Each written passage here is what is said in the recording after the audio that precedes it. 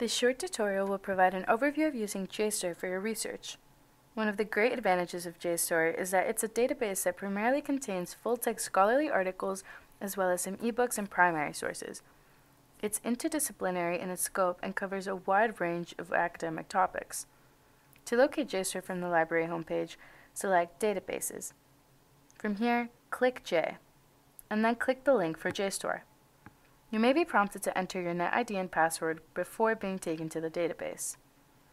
The default interface for JSTOR is much like a Google search box. Starting your search can be very effective from here, but for this video, we're going to take a look at the advanced search. This will take us to a page where we can set parameters for our search. I'm going to start by scrolling down to the bottom of the screen where we can see a list of disciplines that are covered in this database. As you can see, it is quite extensive and inclusive of social sciences, humanities, as well as the hard sciences.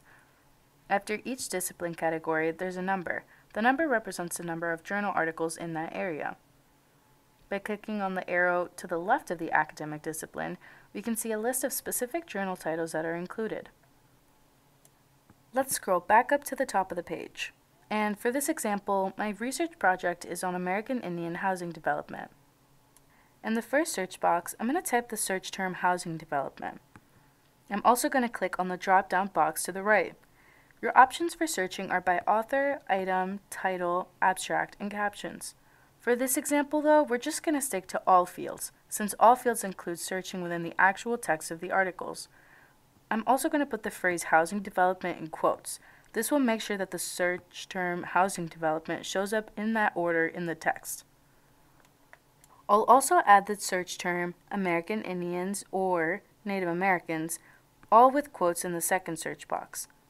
We can connect words with or in the search box if they're synonyms or when there are multiple terms used for a topic like these, but we're unsure of what terminology the articles will be using. Then we can run the search. The search result shows over 40 items, these results include basic information about the articles as well as a snippet of where your search terms first appeared in the article. We can further narrow our search results by indicating publication date parameters. I would like to specifically see publications between the dates of 2010 to 2020. This gives us about 13 articles. Under Subject, I might want to expand my search parameters, including terminology and the disciplines for my exploration. This is useful if I want to narrow my focus to a specific research area and help exclude articles that are less relevant to my topic. Let's select Law. To the right, you'll find some buttons for quickly downloading the article as a PDF or to obtain a formatted citation. When we go to the articles page, you can find the full text of the article displayed as it would appear in the print journal. Although, if you prefer to read the article on your own PDF viewer or save it for later, you can always select Download. Now that you see how JSTOR works, you can experiment by setting up different search parameters. Perhaps the most important key to locating relevant research articles is by perfecting the art of selecting good search terms. It is a good idea after formulating your topic to take some time to generate a list of synonyms or alternative terms. Construct several searches using different terms and combinations of terms.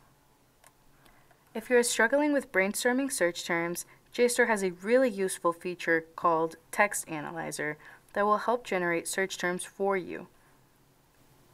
Go to Tools and select Text Analyzer. From here, you can upload a scholarly article, lecture, study notes, or book chapter that is highly related to your topic and the text analyzer will analyze that item for search term recommendations. You can play around with adding terms or prioritizing their importance on this page to find more articles. One final thing to keep in mind about JSTOR is that it typically does not have current journal articles. JSTOR has what we call a moving wall, usually about three to five years. What this means is that JSTOR only provides full text access to articles published until about three to five years ago. If you need recent articles for your research, you will need to search a different database. If you have any questions about using JSTOR, please feel free to contact the library.